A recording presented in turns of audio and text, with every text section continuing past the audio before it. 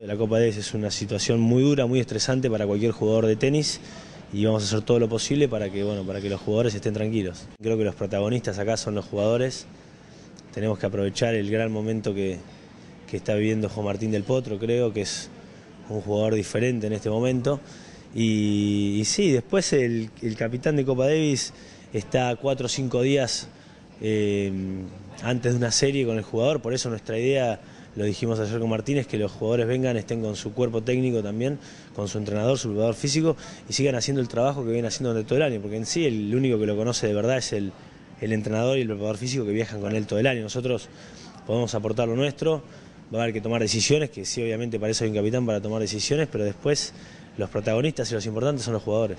Hay jugadores hoy en día que, que tienen nivel como para opinar también y escucharlos y charlar eh, cuando se enfrenta a un país eh, que tiene que es una potencia muy grande y saber cómo enfrentarlo. Creo que los jugadores tienen experiencia también como para charlarlos todos juntos.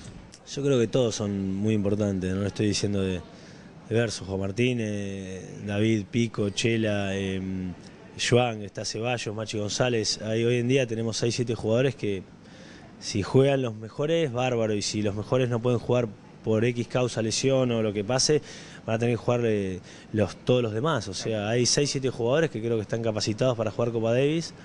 Y lo que dijo Martín, lo de Juan Martín, creo que es el momento ¿no? que está viendo Juan Martín. Juan Martín es un tipo que es extremadamente importante, creo, hoy en el equipo argentino, esencial, porque es un jugador que el año que viene va a luchar por ser número uno del mundo.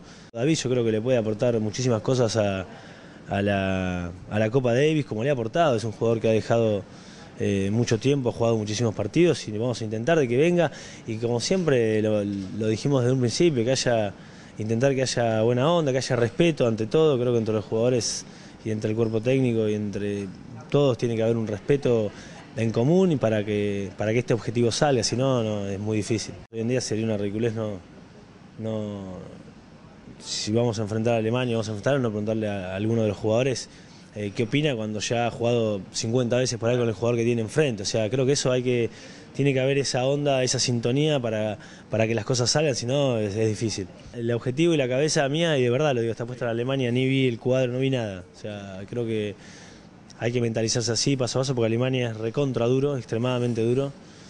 Nos toca jugar allá y, y no va a ser fácil, juegue quien juegue. Así que la cabeza tenemos que tener la humildad y la tranquilidad de ir a enfrentar a un gran equipo como es Alemania allá y bueno, si ganamos después veremos.